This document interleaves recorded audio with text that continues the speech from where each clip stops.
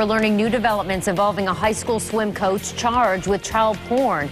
Today, Berkeley Prep fired the man police say had over 100 illegal images on his personal computer. Investigators say Jay Goldstein fully admitted the videos and pictures on his computer were there. Our Allison Morrow joins us now live with how the arrest of the part-time swim and dive coach is impacting students and the overall community. Allison?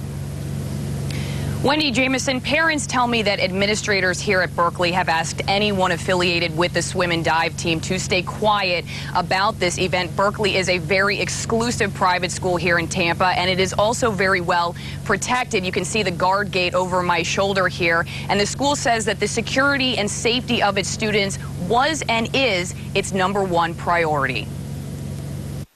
The email went out around noon Thursday. Parents learning from Berkeley Prep's headmaster that they, quote, moved swiftly to terminate part time swim and dive coach Jay Goldstein. The sheriff's office counting at least 100 pictures of children under 12 engaged in sex acts. Of course, this is it's a big shock. Lynn Columbus's daughter Stephanie says she learned about Coach Goldstein at a meeting called in Berkeley's auditorium. A friend on the diving team, and she was just like, really shocked from what I heard because she like really knew him. Goldstein's neighbors remember those dive students spending time at his house in Lutz. He would introduce them. These are my, my kids that I, I dive and, and I swim with. But the exclusive prep school that costs almost $20,000 a year, protected by guards and a security gate, claims their students aren't victims in any photos. Because they were downloaded and not generated by him, uh, we have no reason to believe that uh, he would be including Berkeley students whatsoever. For his neighbors, though, no matter who those kids are, sad,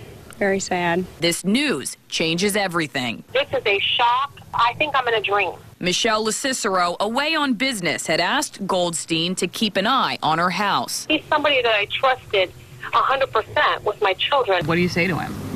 You don't. You don't. I mean, I have, there's no words for me. I have nothing to say to him.